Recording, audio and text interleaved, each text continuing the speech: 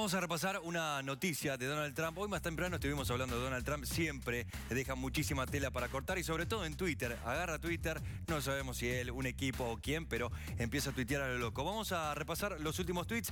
Donald Trump dijo que se va a ver forzado a cerrar la frontera con México si el Congreso no le permite construir el muro.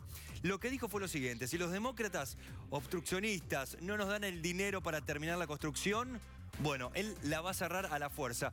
Además dijo que va a cortar la ayuda económica a Honduras, a Guatemala y El Salvador por no hacer nada para evitar las caravanas migrantes. En varios tweets, ¿eh? ahí tenemos, eh, ¿cuántos son? Uno, dos, tres. Creo que aproximadamente dos tweets o tres que están hablando de esto. También indicó que Estados Unidos está perdiendo mucho dinero en el comercio con México. Ahí nos damos cuenta que le gusta la plata más que a nadie y obviamente no soporta a todos los inmigrantes.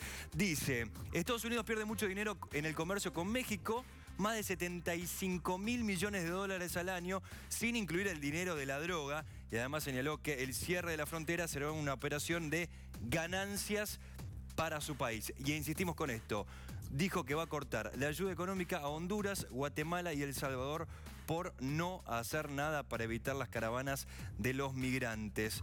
Así que ahí estamos. Incluso está pidiendo que no cierren el Congreso, está pidiendo que durante las fiestas, eh, bueno, sigan trabajando todos y sigan tomando este tipo de decisiones. Trump amenaza con cerrar la frontera con México. Esto cada vez se vuelve más y más peligroso.